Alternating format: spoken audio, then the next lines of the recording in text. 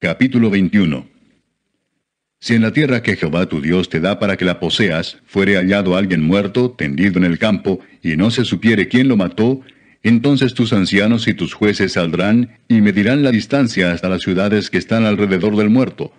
Y los ancianos de la ciudad más cercana al lugar donde fuere hallado el muerto, tomarán de las vacas una becerra que no haya trabajado, que no haya llevado yugo, y los ancianos de aquella ciudad traerán la becerra a un valle escabroso que nunca haya sido arado ni sembrado, y quebrarán la cerviz de la becerra allí en el valle. Entonces vendrán los sacerdotes hijos de Leví, porque a ellos escogió Jehová tu Dios para que le sirvan, y para bendecir en el nombre de Jehová, y por la palabra de ellos se decidirá toda disputa y toda ofensa.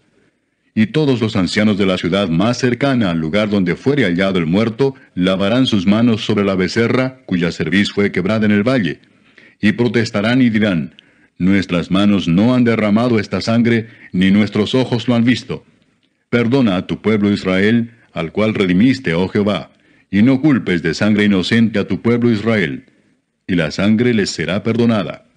Y tú quitarás la culpa de la sangre inocente de en medio de ti, cuando hicieres lo que es recto ante los ojos de Jehová. Cuando salieres a la guerra contra tus enemigos, y Jehová tu Dios los entregare en tu mano, y tomares de ellos cautivos, y vieres entre los cautivos a alguna mujer hermosa, y la codiciares y la tomares para ti por mujer, la meterás en tu casa, y ella rapará su cabeza y cortará sus uñas, y se quitará el vestido de su cautiverio, y se quedará en tu casa. Y llorará a su padre y a su madre un mes entero, y después podrás llegarte a ella, y tú serás su marido, y ella será tu mujer.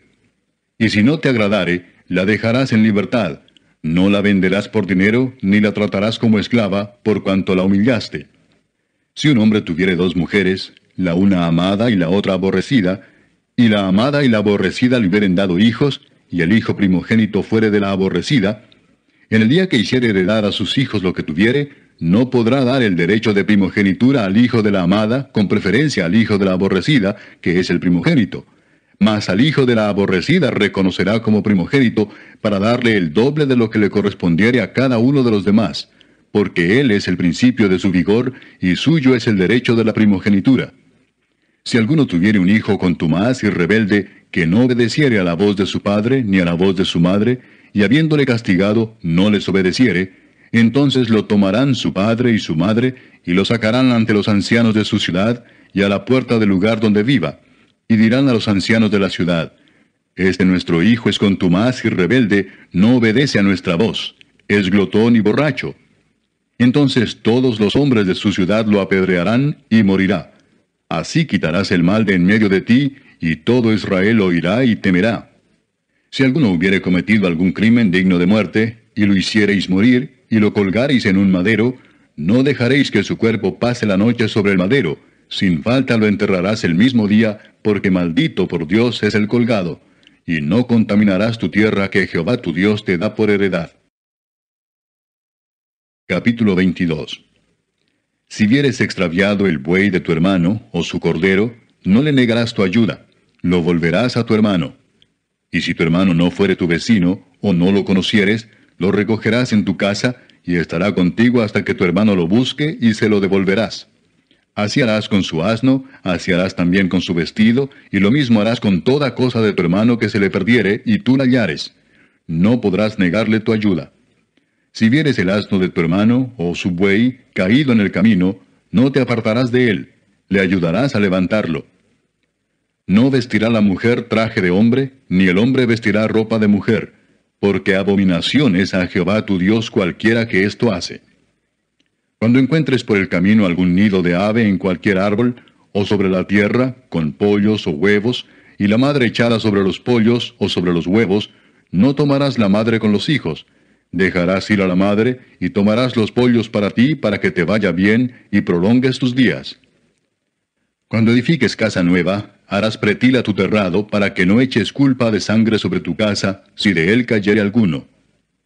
No sembrarás tu viña con semillas diversas, no sea que se pierda todo, tanto la semilla que sembraste como el fruto de la viña. No ararás con buey y con asno juntamente. No vestirás ropa de lana y lino juntamente te harás flecos en las cuatro puntas de tu manto con que te cubras. Cuando alguno tomare mujer, y después de haberse llegado a ella la aborreciere, y le atribuyere faltas que den que hablar, y dijere, A esta mujer tomé, y me llegué a ella, y no la hallé virgen, entonces el padre de la joven y su madre tomarán y sacarán las señales de la virginidad de la doncella a los ancianos de la ciudad en la puerta. Y dirá el padre de la joven a los ancianos, Yo di mi hija a este hombre por mujer, y él la aborrece. Y he aquí, él le atribuye faltas que dan que hablar, diciendo, No he hallado virgen a tu hija, pero ved aquí las señales de la virginidad de mi hija. Y extenderán la vestidura delante de los ancianos de la ciudad. Entonces los ancianos de la ciudad tomarán al hombre y lo castigarán, y le multarán en cien piezas de plata, las cuales darán al padre de la joven, por cuanto esparció mala fama sobre una virgen de Israel, y la tendrá por mujer, y no podrá despedirla en todos sus días. Mas si resultare ser verdad que no se halló virginidad en la joven, entonces la sacarán a la puerta de la casa de su padre, y la apedrearán los hombres de su ciudad, y morirá, por cuanto hizo vileza en Israel fornicando en casa de su padre. Así quitarás el mal de en medio de ti. Si fuera sorprendido alguno acostado con una mujer casada con marido, ambos morirán, el hombre que se acostó con la mujer y la mujer también. Así quitarás el mal de Israel. Si hubiera una muchacha virgen desposada con alguno, y alguno la hallare en la ciudad y se acostare con ella, entonces los sacaréis a ambos a la puerta de la ciudad y los apedrearéis y morirán la joven porque no dio voces en la ciudad, y el hombre porque humilló a la mujer de su prójimo. Así quitarás el mal de en medio de ti. Mas si un hombre hallar en el campo a la joven desposada y la forzare a aquel hombre, acostándose con ella, morirá solamente el hombre que se acostó con ella. Mas a la joven no le harás nada. No hay en ella culpa de muerte, pues como cuando alguno se levanta contra su prójimo y le quita la vida, así es en este caso. Porque él la halló en el campo, Dio voces la joven desposada, y no hubo quien la librase. Cuando algún hombre hallare a una joven virgen que no fuere desposada, y la tomare y se acostare con ella y fueren descubiertos, entonces el hombre que se acostó con ella dará al padre de la joven cincuenta piezas de plata, y ella será su mujer, por cuanto la humilló. No la podrá despedir en todos sus días. Ninguno tomará la mujer de su padre, ni profanará el lecho de su padre.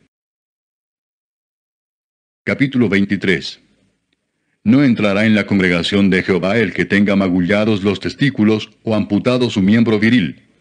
No entrará bastardo en la congregación de Jehová, ni hasta la décima generación no entrarán en la congregación de Jehová. No entrará amonita ni moabita en la congregación de Jehová, ni hasta la décima generación de ellos. No entrarán en la congregación de Jehová para siempre, por cuanto no os salieron a recibir con pan y agua al camino cuando salisteis de Egipto, y porque alquilaron contra ti a Balaam, hijo de Beor, de Petor en Mesopotamia, para maldecirte. Mas no quiso Jehová tu Dios oír a Balaam, y Jehová tu Dios te convirtió la maldición en bendición, porque Jehová tu Dios te amaba. No procurarás la paz de ellos, ni su bien en todos los días para siempre. No aborrecerás al edomita, porque es tu hermano, no aborrecerás al egipcio, porque forastero fuiste en su tierra. Los hijos que nacieren de ellos, en la tercera generación entrarán en la congregación de Jehová. Cuando salieres a campaña contra tus enemigos, te guardarás de toda cosa mala. Si hubiere en medio de ti alguno que no fuere limpio, por razón de alguna impureza acontecida de noche, saldrá fuera del campamento y no entrará en él. Pero al caer la noche se lavará con agua, y cuando se hubiere puesto el sol, podrá entrar en el campamento. Tendrás un lugar fuera del campamento a donde salgas. Tendrás también entre tus armas una estaca, y cuando estuvieres allí fuera, cavarás con ella, y luego al volverte cubrirás tu excremento. Porque Jehová tu Dios anda en medio de tu campamento para librarte y para entregar a tus enemigos delante de ti. Por tanto, tu campamento ha de ser santo, para que él no vea en ti cosa inmunda y se vuelva de en pos de ti. No entregarás a su señor el siervo que se huyere a ti de su amo, morará contigo, en medio de ti, en el lugar que escogiere en alguna de tus ciudades, donde a bien tuviere, no le oprimirás. No haya ramera de entre las hijas de Israel, ni haya sodomita de entre los hijos de Israel.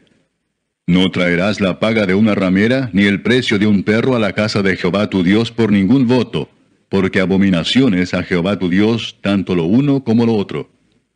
No exigirás de tu hermano interés de dinero, ni interés de comestibles, ni de cosa alguna de que se suele exigir interés.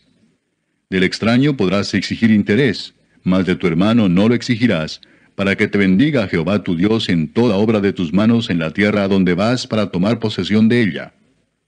Cuando haces voto a Jehová tu Dios, no tardes en pagarlo, porque ciertamente lo demandará Jehová tu Dios de ti, y sería pecado en ti. Mas cuando te abstengas de prometer, no habrá en ti pecado. Pero lo que hubiere salido de tus labios, lo guardarás y lo cumplirás, conforme lo prometiste a Jehová tu Dios, pagando la ofrenda voluntaria que prometiste con tu boca. Cuando entres en la viña de tu prójimo, podrás comer uvas hasta saciarte, mas no pondrás en tu cesto. Cuando entres en la mies de tu prójimo, podrás arrancar espigas con tu mano, mas no aplicarás osa a la mies de tu prójimo.